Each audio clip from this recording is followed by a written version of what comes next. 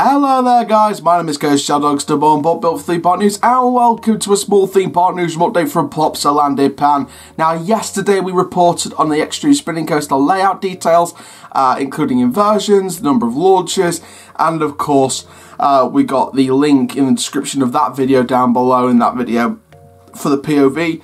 Plopsaland have official release of the POV on their official uh, YouTube page now as well. I'm sure that's out and about on the internet, so make sure you go check it out if you want a good quality full length footage of the POV of the ride and the static uh, statistics and of course the elements layout of the layout in detail. So make sure you go check all that out.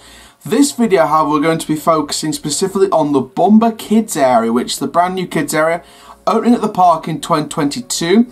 Now, this is their uh, family area. It was originally supposed to be planned with a family coaster. However, we've got a family dark ride planned now. Uh, so we're going to be sharing with you some concept arts for this. Um, just a couple of concept arts, like two or three images. Uh, and I'm going to share with you my thoughts on this as well. So let's start off with the concept images. So concept image number one on your screen now. Find a Bidorzi. That contains the actual sketch, the drawing sketch, the black and white drawing sketch of the trains for the ride. Now, the trains for the ride look fantastic. Not to lie, looks brilliant.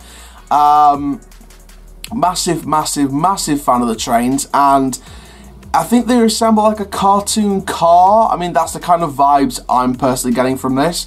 Um, so I think that looks pretty cool. You can see the, one of the big theming items to the side as well. Uh, that looks pretty cool. You can see there the massive uh, sort of circus type theming in there. Moving into number two on your screen now. Fando Pedorzi, looking at that concept image and you look at how that's got the sort of uh, design feel with the um, sort of massive theme. You can see a bit of the track as well, which pretty much confirms this is going to be a trackless dark ride. Um, so there we go. Moving into number three on your screen now. Fando Pedorzi, look at that. That is an overall plan of the whole area. This is the plans that we showed you in the previous update on this when we got the news that they were bringing in the dark ride to replace the coaster on the plans.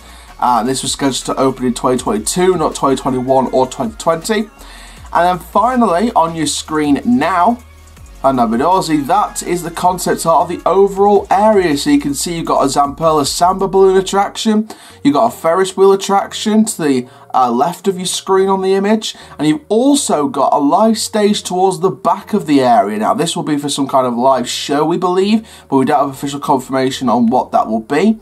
Uh, but from looks of it, like I said, it will look to be a live show. Uh, and of course you can see sort of next to it the massive building at the other side of the back of the area you can see the dark ride.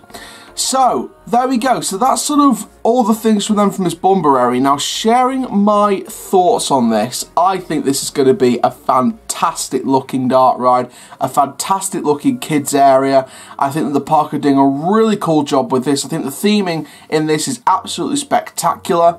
I feel like the level of detail in this area and the ride as well looks fantastic. I think the level of detail going into this is brilliant. Uh, I feel like Plopsaland has spent a really good period of time looking at the theme of the area and the ride, looking at the characters in the in the ride and the whole area itself, the landscaping, um, and the sort of lighting around the area, especially in that last concept image, um, which is still on your screen. Um, you know, it's it's such a it's such a brilliantly landscaped area, beautifully lighted all around. Um, you know, and I think that Plopsaland overall, like I said, have done a really cool job with this.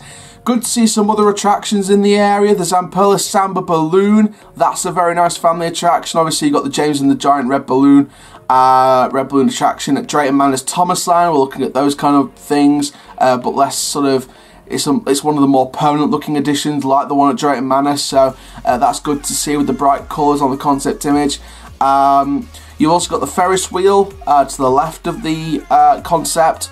Uh, that looks good, again with the same kind of colour scheme as the Samba Balloon attraction, uh, but again, very bright colours uh, and stuff like that. The live stage kind of gives me old vintage Shakespearean looking stage kind of vibes and old curtain call kind of stage vibes.